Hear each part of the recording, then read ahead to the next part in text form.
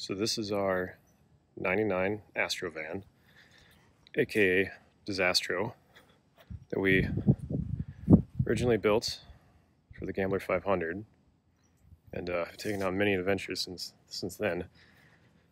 I'm just gonna do a quick walk around.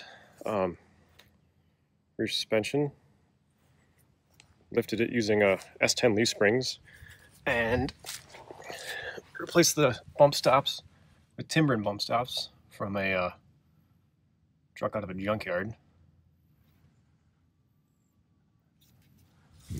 Uh, front suspension—it's been lifted uh, by cranking up the torsion bars, doing a ball joint over swap to get the uh, camber right, and a few hockey pucks on the subframe to lift it can see there, two hockey puck lift on the subframe. Back here, we have the uh, heavy duty body mount made of ball bearings and brake pads. Uh, the transfer case is out of a full-size Chevy truck. We got an adapter off of a, another 4L60 to adapt it uh, to the into the Astro. Use stock rear drive shaft, surprisingly.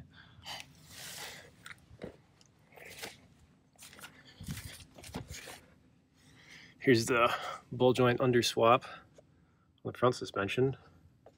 Torsion bars are, bars are all cranked up. And bar, Booker welded. More hockey pucks. Uh, a brush guard on the front off of some truck we modified to make it work with an Astro. 8,000 pound Ramsey winch that came with it, which has been used quite quite often. Uh, other mods, light bar, on very very useful since the headlights are very useless. And the front drive shaft, so to adapt. It's a little broken now, but to adapt the uh, full-size transfer case to an Astro front differential.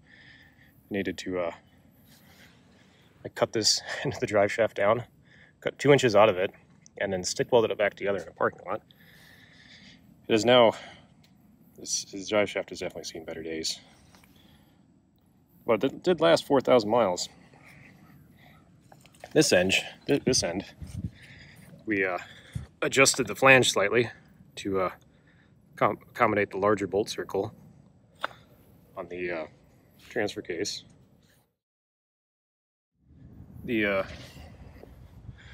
other mod, very very critical, is a skid plate. That is made out of uh, hockey board, like the stuff you see on the outside of a hockey rink. It's good because it's slippery and really tough. Um, we also V8 swapped it because we may have hydrolocked the V6 at one of the gambler events. So it's hard to tell, but there's a there's a V8 crammed in there. It actually fits pretty well, surprisingly. Um,